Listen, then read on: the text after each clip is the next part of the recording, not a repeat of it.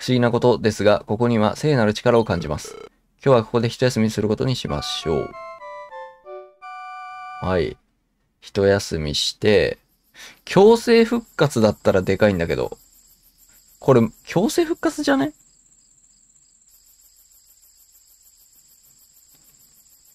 あ、これ強制復活な気がする。あら、もう目が覚めた。あまり眠れなかったのかしら。無理もないわね。言うですもんね。ところで彼、どこまで見に行ったのかしら。ずいぶん遅いようだけど。来た。お、三人とももう起きてたか。ちょっと周り見てきたが、やっぱあの城に間違いなさそうだでしかし。どうしたのですか？何か気になることでも？ずっと前にもこんなことがあったような。あったんだよ。考えててもしょうがないや。さて、そろそろ準備はいい。あそろそろ行かないか。もう十分に休んだろ。そうね。こうしてても始まらないわ。そうですね。そのためにな、今まで随分長い旅をしてきたことでしょうから。行くぜ、リーベ。相手は魔王無道だ。死んだ気で戦おうぜ。もしこの戦いに勝てば、世界に平和が訪れるはずよ。地面はね、リーベさあ行きましょう。どうかしたのですか？まさかリーベさんもこの場所に覚えがあるとか。はい。あります。不思議なものもあること。さて、私たちも参りましょう。お、強制復活だ、これ。おそらく。あ、復活してる。さあ。どうやらこの崖の下が無道の居城のようです。しかしどうやってそこまで？うーん、やっぱりこんなことが前にも。くっそ、こんな時には一体俺の頭はどうなっちまったんだ？この笛を吹けば私たちは魔王武道の城に運ばれていくでしょう。そう、あの時のように。覚えてんのか？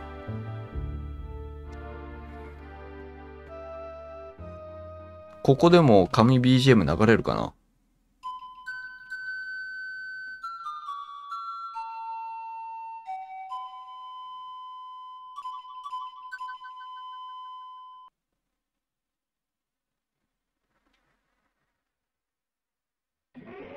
来た。あの時と同じだ。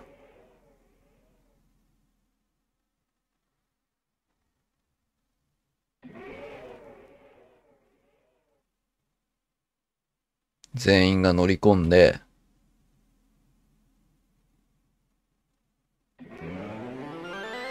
あ、同じだ。まあでも、あれだよね。ここでドラクエ6終わるって、最初はね、思うよね。無道っていうラスボスがいて、それに向かって、いや、そうだよな。まあ、まだまだ世界は広いっていうところが、まあ、まず、終わんないよっていうヒントにはなるけど、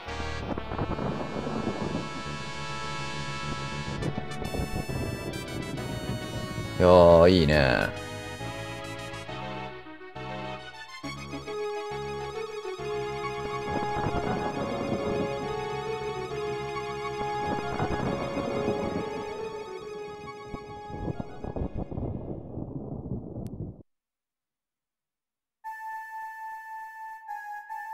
来た。さあ、こっからだな。ダメだ。この扉だけ、鍵穴が見えねえ。これがもしまやかしなら無道と戦ってまやかしを破るしかなさそう。だから帰れないっていう証拠だよね。結界を作っておきましょう。何かあっても再びこの場所に戻ってこられるはずです。ここまで来たら前に進むしかなさそう。先に行って。こっから行けばいいのか。ん？これ開かないんじゃね？開くじゃん。ん？こう、あ。これは、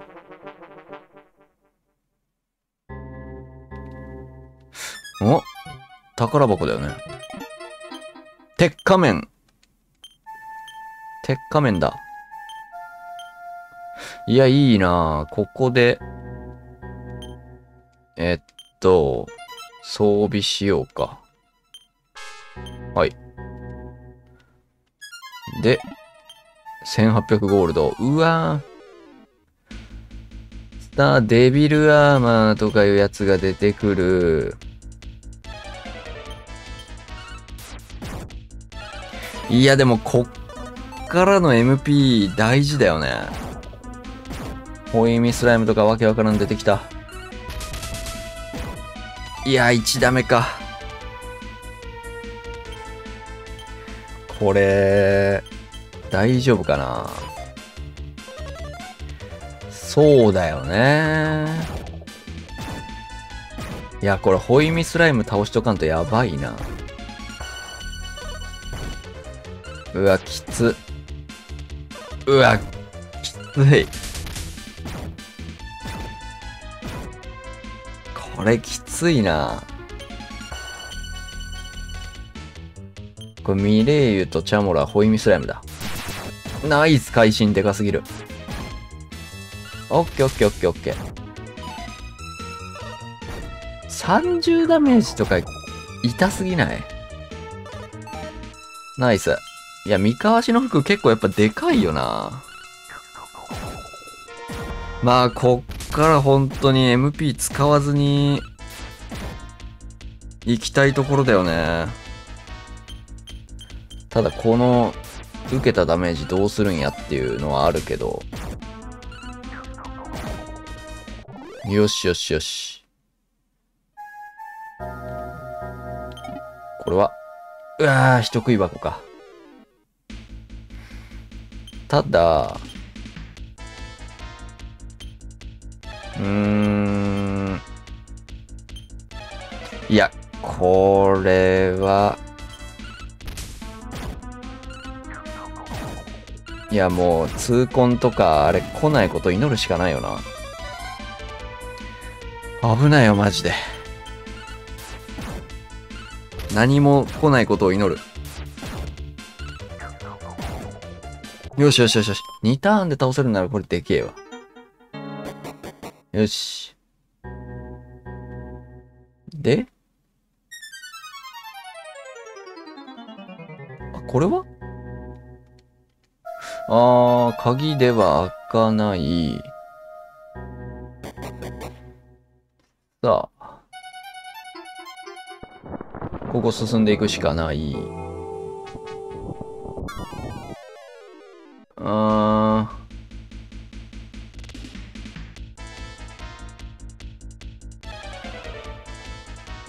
ー。いやー。あ、まあ、こいつらだったらまだ大丈夫か。うわ、メラミやばい、終わる。あぶな。いや、普通に強えな、こいつら。えっと。いや、ホイミじゃダメだな。これもベホイミ使うしかないわ。一旦ここはベホイミ。よしよしよしよし。ミレイユは最悪。あー、バイケルトだったら全然いいわ。危ねえなー、マジで。いやー、きつ。これ、きついかもしれんな、本当に。こんだけレベル上げたけどさ。間違えた。リレミト使っちゃった。しっかり回復させて、で、地下1回。2の C。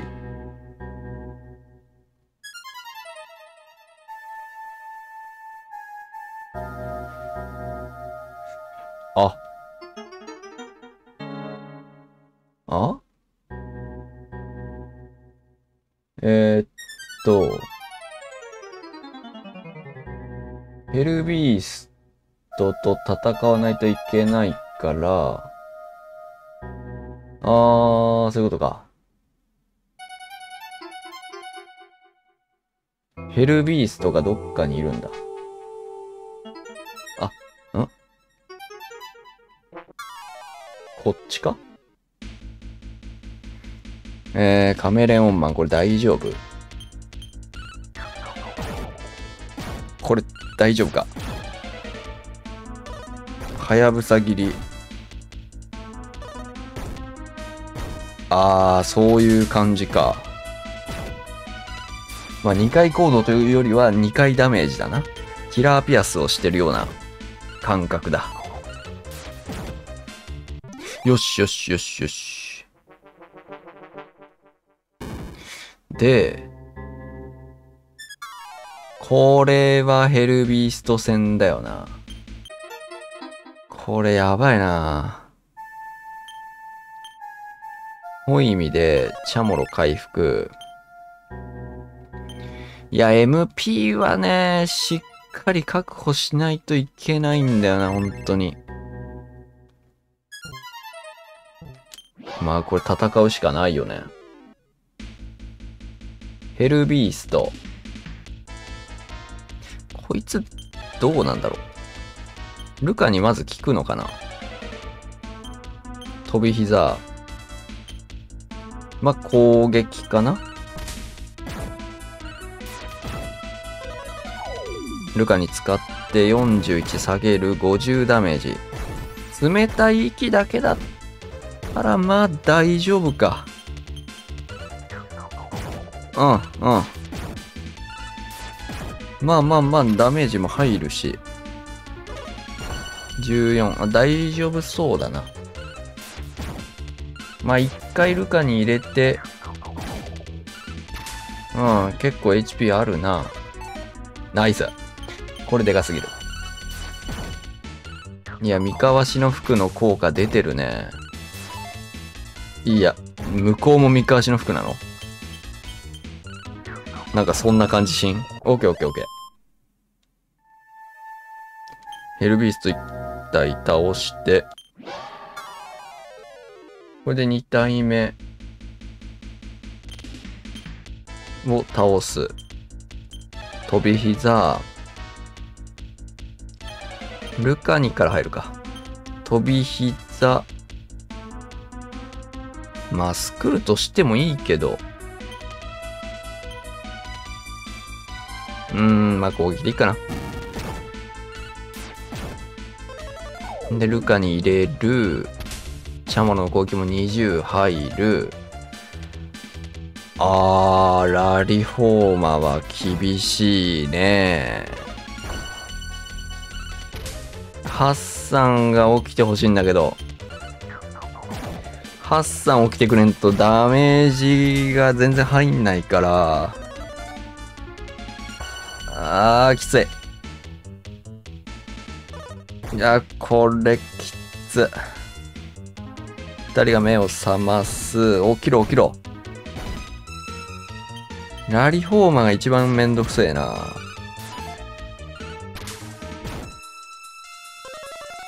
いやー、マジで、マジでやめろ。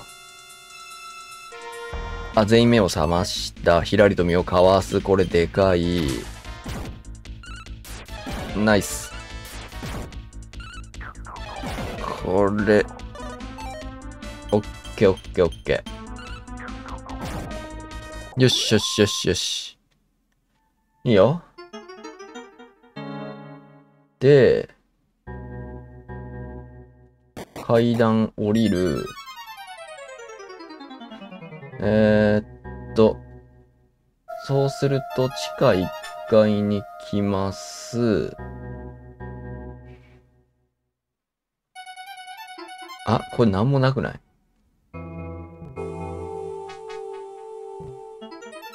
なんだあれ？あ？いや、あ、ストーンビーストか逃げようかな。あー、そうか。ここ多分盗賊の鍵があればって感じだったんだ。そうだな、これ鍵持ってなかったんだよな。うわー、ちょっと待って、これ。あ、これ、んそれもしかして俺じゃねえのかけど動いてねえぞ。死んでるのか。違うな。死んでるのに寝てるだけだ。でもよ、どうして俺俺が二人いるんだこそれもこんなところに。ん？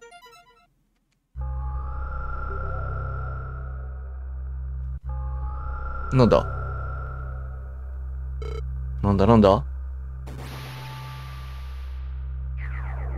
あ、あ？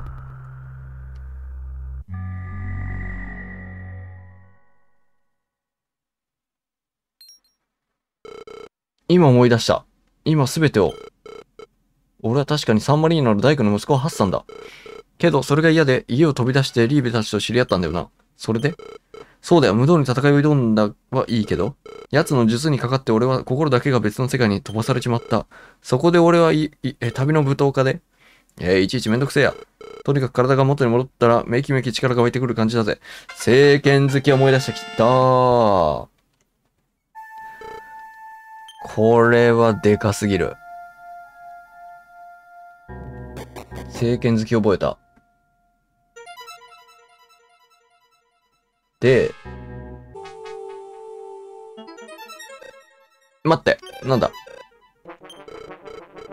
怪しげな術を使う。今度は前のようにはいかない。ついにここに戻ってきた。思えばあの日以来随分長い旅を見せられた気がします。長い夢を。しかし、夢の世界での経験は決して無駄ではなかったはず。さあ行きましょう。いや、ちょ、ちょっと待って。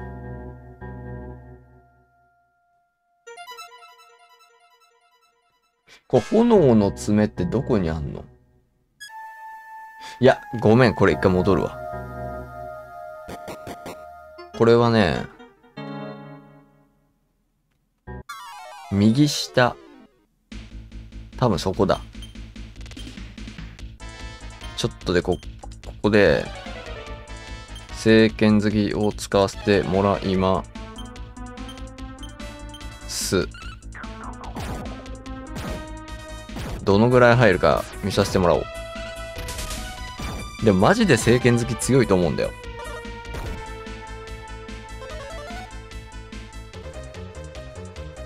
なあ、もう本当にさ。本当にこの、あ、仁王立ちになっちゃった。間違えた。ごめん、間違えた。普通に間違えたわ。やばい、これハッサン終わるかもしれん。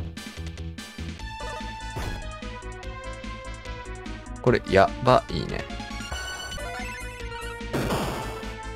いや、避けるんかい。いや、最初っからさ、これさ、強さを見せようと思ったのに避けられるっていうさ、しんどくないっすか、これ。いやー、マジで終わっとるな、こいつら。はい。はい。よしよしよし。いや、ちょっと申し訳ないんですけど、あのー、あれですわ。申し訳ないけど、これ次回にするわ。炎の爪手に入れるまでにします、今回。なので、ここをと、バーニングブレスって何？ここまで来てまだ知らんやつ出てくんのか。火の息。うん。いや、燃え盛る火炎使ってくる。これきつ。それやばいでしょ。聖剣好き行かせてもらおう。避けるのマジで何？避けるのマジ何？自分20レベルになった、ついに。うーん、いや、ここはね、もうもう聖剣好きで一気にぶっ飛ばす。えっと、ルカにして、聖剣好きして、まあ、二人防御でいいわ、もう。まあ、スクルトでもよかったか。88。でかすぎる。88ダメージでかくない？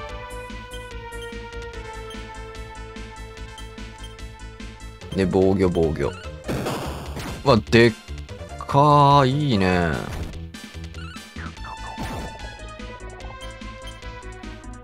マジでいい。あ、これは強いわ。めっちゃ強いわ、ハッサン。あ、これ倒す必要あったか。うんと、ルカにして、聖剣好きして、いいね。めちゃくちゃいいじゃん。ハッサン強。で、聖剣好きして、いや、これ本当に多分炎の爪ないと倒せないから、ここ来るの本当に大事だ。いや、こいつはでも戦いやすいね、全然。うん。いや、素晴らしい。チャモロ16レベル。よし。で、あー、なるほど。こっちやな。あー、カメレオンマン、デビルアーマー。聖剣好きでぶっ飛ばします。まあ、ベホイミミレイユかな。いや、マジででも、きついね。いや、特にね、MP がね、いや、避けられるのマジ終わっとんだけど。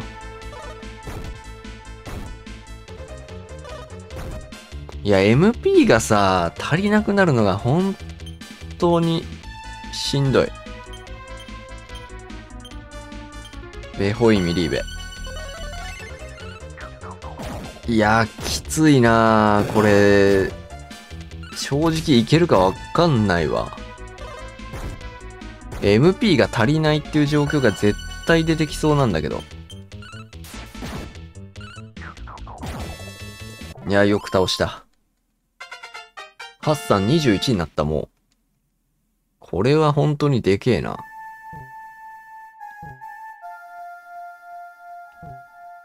で、うーわ、こいつも倒さないといけないの。もうマジでしんどいわ。マジでしんどい。ルカにして、聖剣好きして、いや、もうラリホーマとか終わっとる。真面目に終わっとる。殴る。いやー、しんどすぎる、これ。よしよしよしよしよしよし。あ、まあ普通の攻撃になっ、うん、かわされるんかい。ここしっかり聖剣好き選んで、これで倒せるかな？よし、オッケー。で、ここがマジできつくて、100、98。あ、でも2ダメージずつだったら全然いけるな。で、この炎の爪を、誰に持たせる？チャモロか？いや、み、いやー、でも自分じゃない？なんか自分がいい気がしてきた。こいつ、あ、驚き戸惑ってる。ラッキーすぎる。あ、なんとかなったな。よし。えー、っと、こいつらから逃げたいんだけど大丈夫か？もう、もう本当に、本当このラリーホーンってやつが一番うざいんだけど。いや、ミレイユ30ダメージきっつ。いや、ごめん、これめっちゃきついわ。あ、終わるな、これ。マジで終わる。あぶねえ。ちょ、これ満タン使うね。やばい。マジ、マジでやばいわ、これ。あのね、MP が足りないです。え、これさ、エンカウント率が異常なんだけど、本当に。マジで。マジでこのダンジョンきついわ。うん。いや、特にエンカウント率がやばいもん。さすがの昔のゲームっていう感覚が。いやー、これなー自分使ったとしても、これでマックスか、ちょうど。いや、マジでしんどい。どうするこれ？いやー、しんどい。ここまで戻ってきたけど、あ、こっからだよ。から、多分魔法のせ、1個しかないんだけど。あれ？これさ、魔法の整数1個だけだったら無理じゃね？方程式合わないんだけど。え、これ、や、やばいわ。これ回復する場所ないもんね。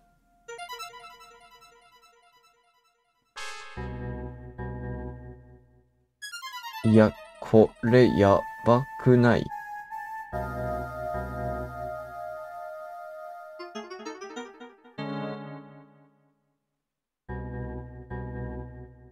うわ、これやばいわ。え、魔法の聖水って本当に1個しかない？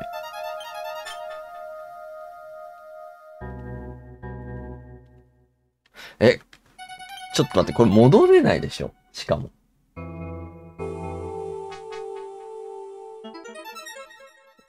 れやばいわ。これマジでやばい。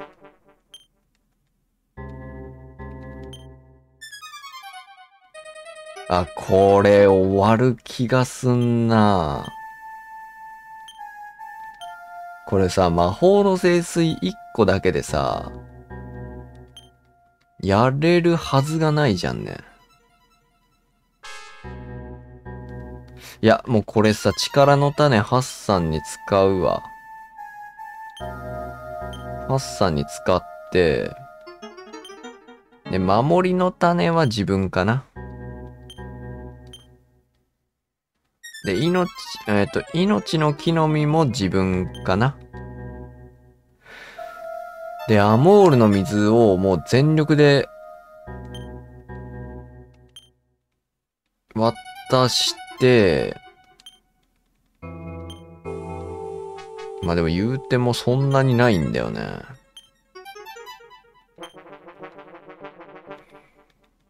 で、あれでも盗賊の鍵あるじゃん。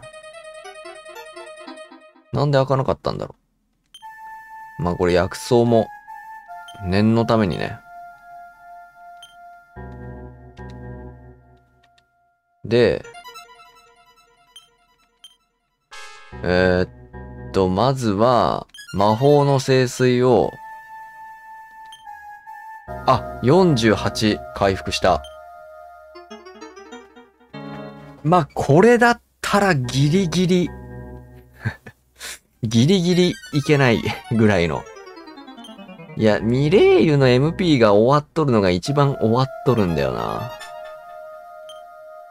これやばいでしょ。いやー、これ、ちょっともう今、あ、それゲントの杖ってさ、え、ゲントの杖って、効果何？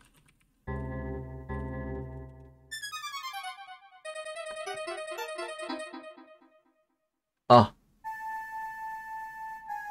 ベホイミだ。あ、これはミレーユだわ。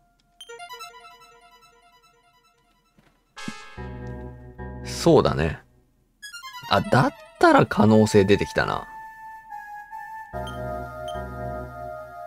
で、炎の爪自分で、で、守りの種を使う、身の守り4上がる。めっちゃ強いじゃん。自分を上げといて、最大 HP6 アップ。で、うーんと、力の種使う。あ、強。これめっちゃ強いじゃん。だったら、えーっと、まあ、素早さの種はどうしようかな。ミレイユに使ってあげてもいいか。いや、もう本当にガチで。ガチでいく。えーっと、命の木の実。ミレイユでいっか。もう一個は。まあ、不思議の木の実は今使っても意味ないから。えーっと。素早さの種を使う。素早さの種使う。はい。で、命の木の実を使う。で、いいかな。いや、お前、そこで戦闘になるの、マジで。よしよしよしよし。で、まあ、最後に薬草を誰かに使ってて、まあまあまあ、これでいっか。いいんじゃないかな、これで。いや、で、次回にするって言ったけども、これ、戦うわ。動画時間とんでもないことになってるけど。ちょっと待ってよ、最後に。最後に、薬草を、一応出しといて。で、いいよな多分これでいいと思うけどなで、えー、じゃ正直炎の爪を誰に持たせるかっていうのは、まあ、リーベでいいよな多分。もう行きます。だ、ダメだ。これじゃあの時のように。きゃ。うわ。あー。ただ、ここで、絶対違うことが起きるはず。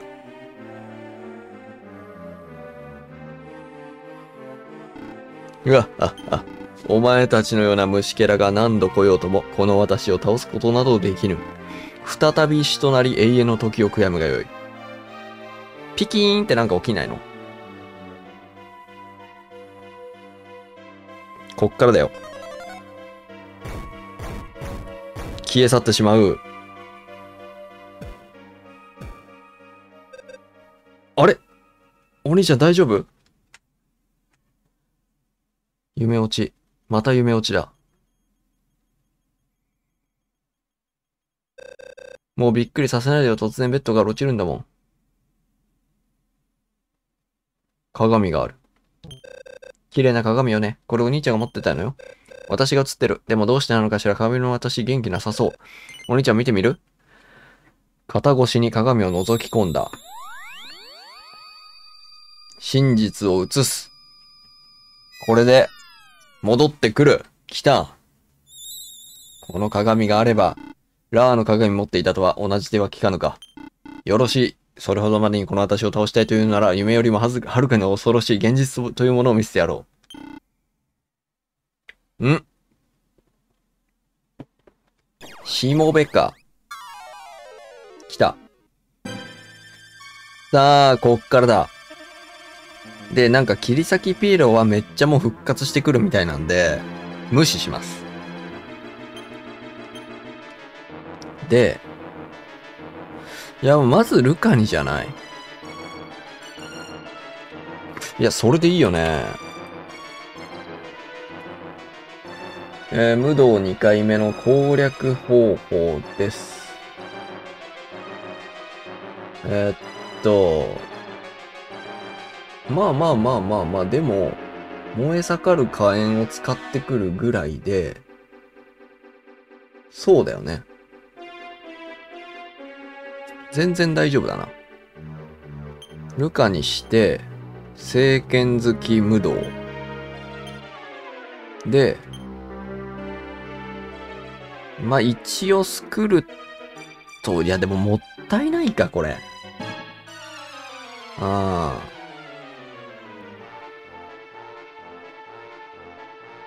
わー、でもさ、あ、そうか。いや、スカラを、チャモロ。で、チャモロは何をするかっていうともう回復要因だから、魔法トーン効くわけないもんね、これ。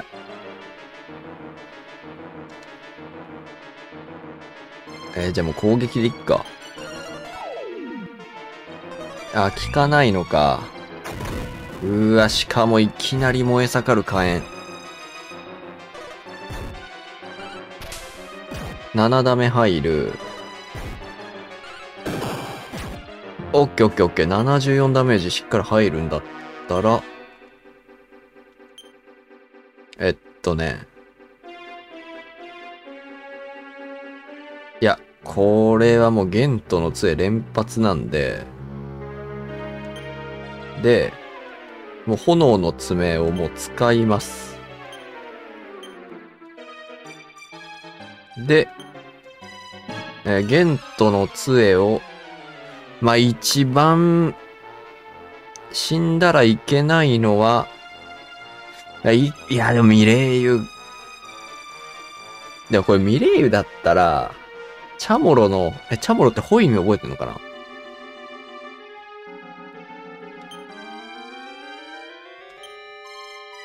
チャモロってホイミ覚えてる？あ、覚えてるね。これでいいわ。よしよしよしよしよしよしよしよし。いや、でも連続燃え盛る火炎やばくない？それやばいでしょ。え、それやばくない？ホイミ。やばいな、これ。もう、ベホイミをミレイユ行って、チャモロ回復させて、ホイミはこれ、ハッサンだ。で、聖剣好き無道からの、えっと、道具で、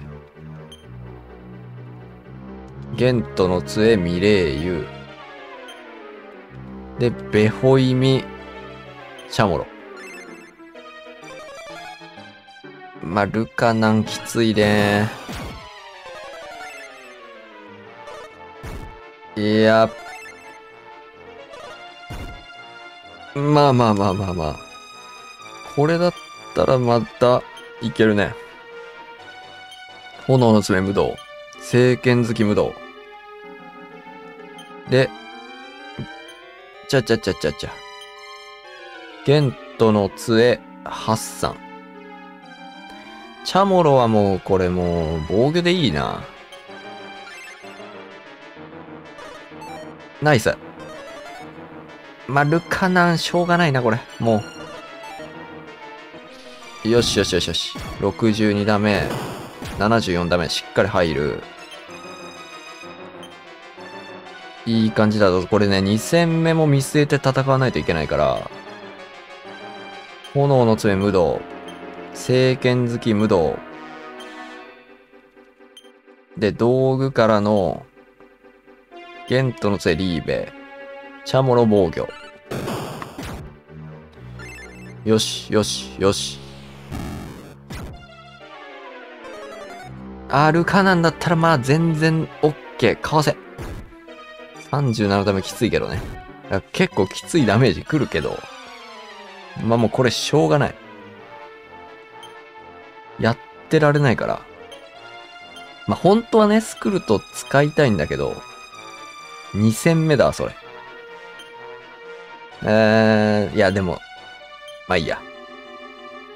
チャモロ防御。よし、よし、よし。よし。これだったら、あとは、あ、いいよいいよいいよ。えーっと、ちょっと待ってよ。しっかり戦おう。聖剣好き、呪文じゃない道具で、しっかりゲントの杖を使う。あ、避けんのか、お前。あ、まあまあ、でも、倒せるな。オッケーじゃあ、普通に炎の爪。いや、もうこれガッチガチだな。聖剣好きどんぐらい当たるかだけ見てみようか。えー、ゲントの杖。あー、かわされるわ。全然かわされる。全然かわされる。じゃあもう攻撃でいいや。で、防御防御でいい。よし。さあ、こっからだぞ。ミレイユレベル19。こっからがマジで大事。ドラクエ史上、えー、指折りの難易度。我が名は無道。世界を我ら、魔族のものにするまで、まだ滅びぬわけにはいかぬ。ぬおーさあ、来た。さあ、来るがよい。私の本当の恐ろしさを見せてやろう。来た。行きましょう。来た。これが本気無動戦と、えー、言われるやつですね。えー、ガッチガチの攻略で行きましょう。はい。倒せるかは正直わからん。正直わからん。えー、っと、まずは、道具で、いやもうこれ炎の爪でいいよね。炎の爪、聖剣好き。で、えー、っと、1から2回攻撃。めっちゃ強えな、でもそう考えたら。ちょ、ちょっと待って、これもうね、ガッチガチの攻略でいくんで。うーんと、氷の息打撃あが絶対なのかな、これ。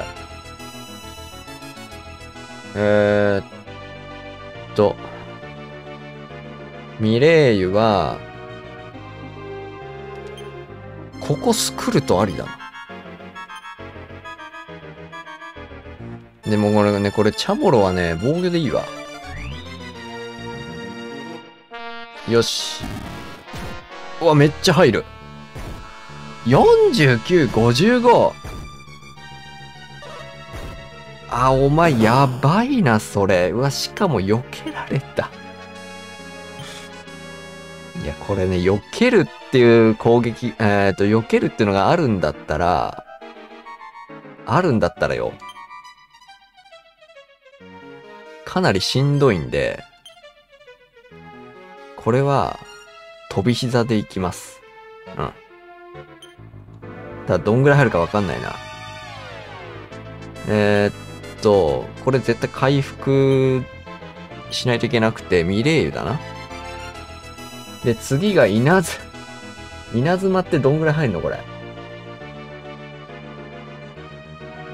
いや、これ、ああ、そうかい、えっと、12ターン、炎の爪を攻撃できれば倒せるみたいな感じなんで、まあ、ここはまず、ベホイミ。いや、これチャモロ死んだらやばいからチャモロにしよっかな。いや、でも、あー、いや、リーベかな。75。いや、飛び膝でいい。雨クラムの、うわ、きつ。厳しすぎるな、これ。いや、あーえー、ちょっと待って、これ。えっと、自分は炎の爪絶対使います。いや。ここね、ホイミだ。とハッサンこれで頑張ってもらって、飛び膝で、で、えー、っと、ゲントの杖、チャモロ。あ、2フラム使っちゃった。やべ、終わったか。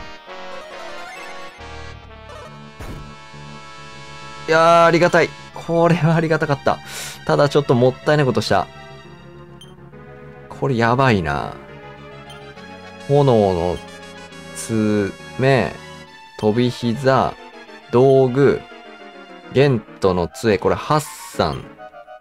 で、呪文で、ベホイミ、ミレイユ。いいよいいよいいよいいよ。深い眠り。うわ、チャモロか。いや、大丈夫。えー、っと、炎の爪、飛び膝、道具、ゲントの杖をミレーユで言うのこれ。よしよしよしよしよし。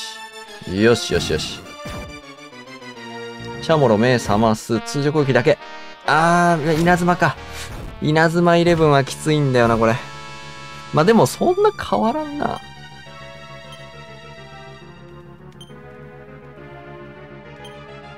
いや、ここは、ここは、ここは回復だ。自分回復の飛び膝。で、道具で、ゲントの杖ミレーユ。で、ここホイミでいいんじゃない？チャーモロ。よし、よし、よし、よし。まあまあまあまあまあまあまあ。あー、しんどい。しんどい。これね、連続できたら終わるわ。うん。今の攻撃。いや、ここも絶対回復だな。ホイミ、リーベでなんとか変えてもらって、いやでもチャモロがやばいな、そうなると。ってところでアモールの水使うか。ここで大事だな。ちょっとこれも自分回復でいこうか。うん。そう、アモールの水っていう選択肢も全然あるんで、自分回復して、えー、ベホイミ自分。もうこれ、自己防衛。みんな自己防衛ね。稲妻きつい。いや、ま、まあまあまあまあまあまあまあ、それだったら全然いいわ。うん。で、ここで、一旦、ち、これもうアモールの水がマジで、もうないから、ハッサンは。飛び膝、あ、ちょっと待って。ホイミこれ、あー、いや、チャモロ頑張ってもらうか？ミレイユか、でも、普通に考えたら。うーんとね、いや、これね、炎の爪使うわ。で、道具で薬草リーベ。これでなんとか、耐えてもらって、で、ミレ、えー、っと、ここは、えこれちょっと待って。ミレイユ、あー、でも待って、これ、ハッサンか。ベホイミ自分。あ、これやばいか。リーベがちょっとやばい気がする。ナイスでかすぎる でかすぎる、これ。炎の爪。で、飛び膝行きます。ここは攻撃転じれるもんね。道具からのゲントの杖リーベ。呪文でベホイミミレイユ。いや、これアモールの水やっぱでかかったな。稲妻しんどい。稲妻しんどいけど、オッケー。さあ、割ともう半分はいってるでしょ、いくらなんでも。うん。で、飛び膝。で、道具。ゲントの杖を、まあ、安全なのはミレイユか。で、ベホイミ、まあ、チャモロ行こうか。炎の爪。まあ、ミレイユが寝るの一番しんどい。ミ、ミレイユ寝るの一番しんどい。ここはホイミをチャモロに。いやー、これハッサンも回復だな。うーん、ミレイユ。やばいな。薬草リーベ。道具。アモールの水を、いや、違う。ここはまだベホイミ行けるから、ベホイミ行った方がよくて、ミレイユじゃない？これ。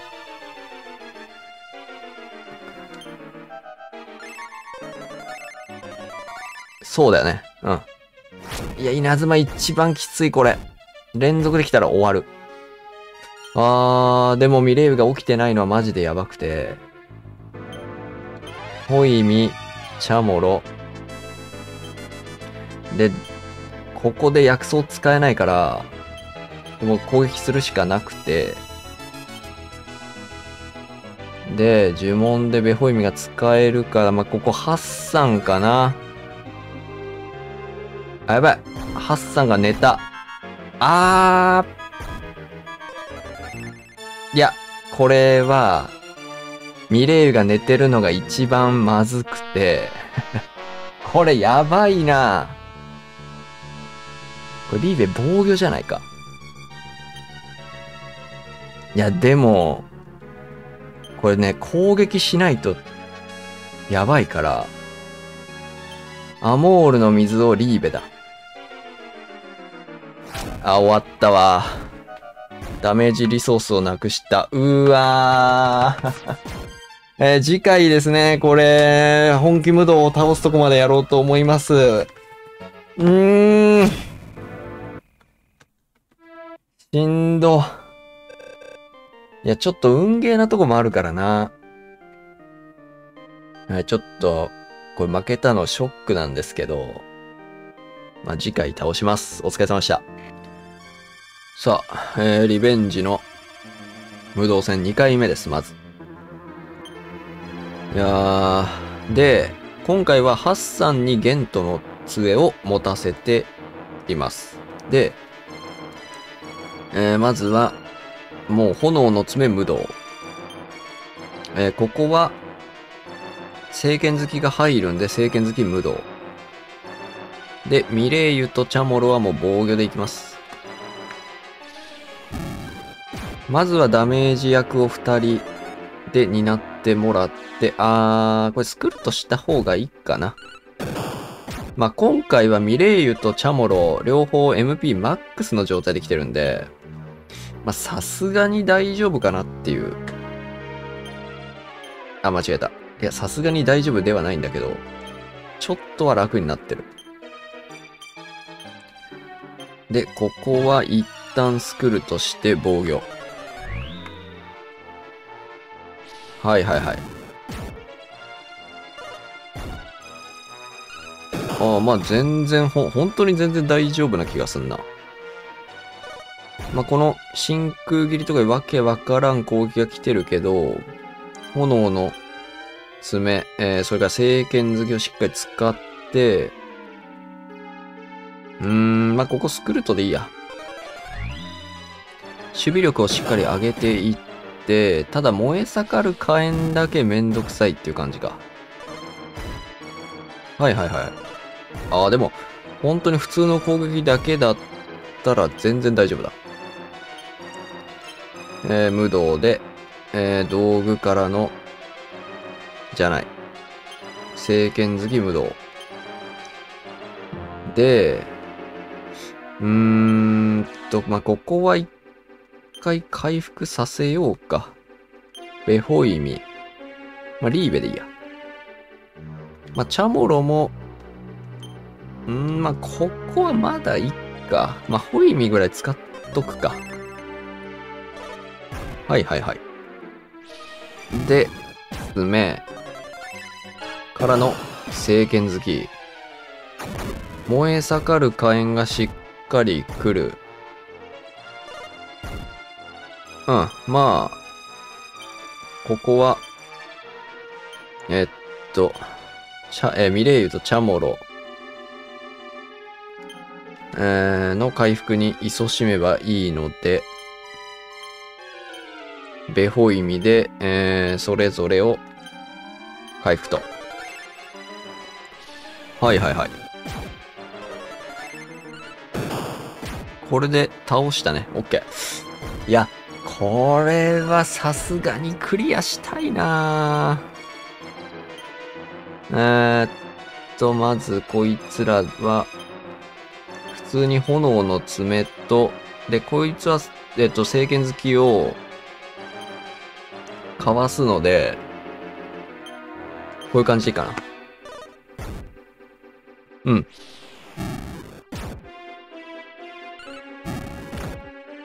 はいはいはい。で、一旦炎の爪で、ここで、まあ、万全な状態にしたいから、まあ、一回こんな感じで、はい、真空切りミレイユ10ダメージ。えっと、自分が、炎の爪、で、ゲントの杖でハッサン自分を回復させ、あー、倒しちゃうかな。まあまあまあまあまあ。大丈夫でしょう。よし。なぜだ?さあ。こっからよ。HP は多分900とかなんで、向こう。炎の爪12回。えーやればいいんで、そんだけなんで、えーっと、炎の爪。まあでも攻撃できるときはもう本当に行った方がいいんで、飛び膝蹴りを使っていく。で、えーミレイユは、まずこれ最初スクルとしてもいいか。うん。最初やることないんだよな。バギマしとくか。最初のターンだけは、うん。ないよりはいいダメージを。オッケーオッケーオッケー。うわ、通常攻撃2回とかありがたすぎん？そんな、ぬるぬるでいいの？っていうぐらい。えーここはしっかりと、回復を入れていく。まあ、もうベホイミでいいよね。はい。えーっと、自分が寝るのは一番めんどくさくて、なぜならダメージリソースが一気に減るから。なので、ここは、二人防御だな。起きろ。いや、ここ起きてくれんと結構困る。あー、マジか。うーん、まあ、こういう時のためにゲントの杖をハッサに持たせているんで、まあ自分を回復させて、まあ、ベホイミまでいらないかな、これ。お互いにホイミで耐えると。あ、目覚ました。あ、ハッサンが寝るんだったらまだギリギリ。あ、そして目覚ました。これ最高です。これ最高で。えーっと、ゲントの杖は、ま、うーん、まあ、使わんくていいか。飛び膝。まあ、ホイミしとくか。うん。で、防御。余計なダメージを減らすっていうのは全然ありだと思うんで。よし、通常攻撃だけ。めっちゃ優しい。これはありがたすぎて。飛び膝。うーん、ここは、ホイミでいっか。うん。炎の爪、ホイミ、ハッサンが眠る。まあ、ハッサンが眠るんだったたらまだ良くて、まあ、ここもホイミでハッサンを回復させとくぐらいで、あ、で、ハッサン起きたね。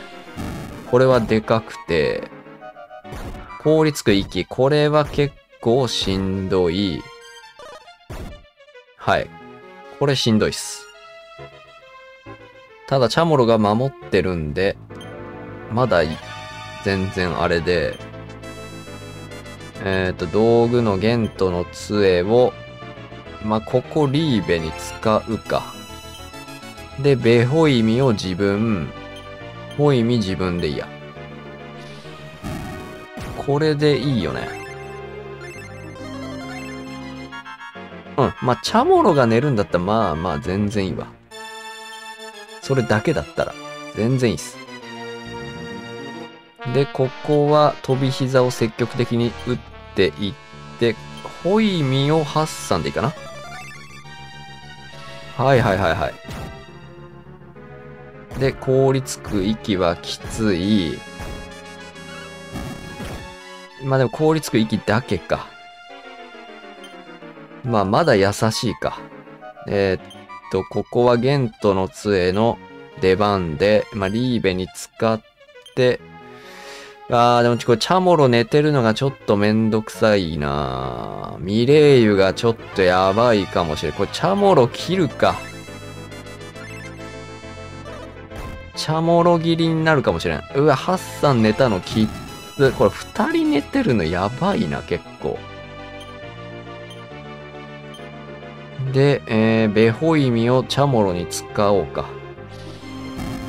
ハッサンは頑張ってくれるでしょう。ミエユ30。ナイス。これはでかいな。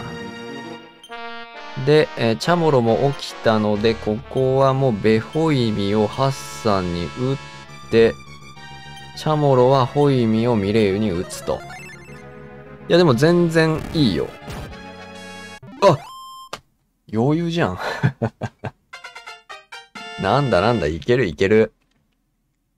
キアリク覚えた？いや、でも今回はもうガッチガチに対策取っていったんで、こんなはずでは。よし。これどうしようかな？前回のパートに加えちゃってもいいかもしれん。うん。ちょっと前回のパートの収録時間が1時間40分、プラスでこれで10分なんで2時間ぐらいの動画になっちゃうけど、まあそれを一気にぶち切って、多分まあ1時間ぐらいの動画になるんかな？頑張りましたね、リベ。あなたたちのおかげで無道は滅び去りました。さあ行きなさい。皆があなたたちの帰りを待っていることでしょう。いや、これで終わりだったらね。まさかあの無道を本当に倒してくれるとは。この度のそなたたちの働き、誠に見事だったぞ。これでこの世界にも平和が訪れるであろう。すべてはそなたらのおかげじゃ。でもなんか解決してないのって大臣なんだよね、多分。違ったっけ？大臣おかしかったもんね。この国の王として、いや、この世界の住人として心から礼を言うぞ。そして、これはわしからの心ばかりの贈り物じゃ。受け取ってくれるかな？あ、イカズチの杖を受け取った。これからも世のため人のためますますの活躍を期待しておるぞ。さて、わしの話はこれで終わりじゃが、わしの妻シエラがリーベと二人で話したいそうじゃ。他の者は悪いが席を外してくれるのか？それでは私たちは下の階で待ってるから。じゃあな。淡々と。さあ、リーベこちらへ。もっと行く顔を見せて、やはりリーベ王子ですね。随分とたくましくなって。こんなこと言っても今のあなたなら何のことだかわからないかもしれません。しかしあなたはきっと私たちの息子。いえ、正しくはあなたたちの、私たちの息子が見ている夢なのでしょう。だから私たちの知ってるリーベとは少し感じが違うかもしれませんね。そしてもしそれが本当ならこの世界のどこかにあなたの実体がいるはず。そう、あのハッサンというものがそうであったように。行きなさい。そして世界のどこかにいるあなた自身を見つけるのです。今のあなたは彼仮の姿、本当の自分自身とな、えー、なって戻ることを私たちは待っています。シエラの話は私にはよくわからんが気をつけていくのでぞ。魔王無道が倒れ、世界が平和になったとはいえ生き残っている魔物もいよう。それらを全て退治した時、さらなる平和が訪れるかもしれぬが。焦ることはない。その人たちのおかげで世界は平和に向かって歩み始めたのじゃ。その世界を自分たちの目で確かめてくるのも良いことであろう。気をつけて行くのだぞ。おかしな夢を見た。魔王無道が倒れたおかげで伝説のダーマ神殿が復活したという夢。ほう。そうか。ダーマ神殿復活だよね。王子様そっくり。あれ？じゃあ、今のシェーラの話でいくと、えっ、と、バーバラが馬車に戻っている。あ、じゃあもうこれで、平和になったけど、なんかまた、もっと平和にしてくれみたいな。誰だこれ？魔王のが倒されたと知り、人々が喜ぶ顔が、じゃない、声が聞こえてくる。あ、じゃあもうこれで、えー、っと、本当の姿を探しに行けと。ハッサンがそうであったように。っていうことなのかな？ああ。馬車で待ってんならもう外行っちゃいますけど。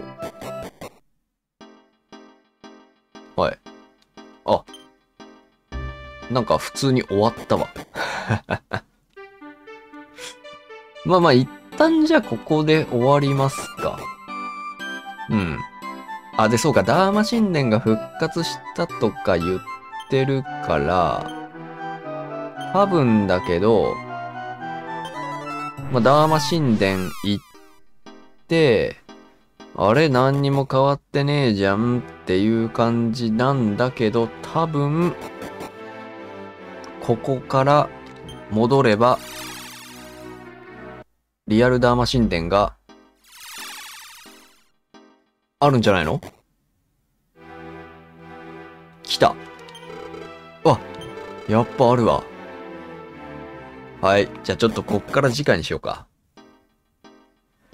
えー、今回はここまで。えー、無事にね、無道を倒したんで、えー、こっからさらに物語が進んでいくというところで、また次回です。お疲れ様でした。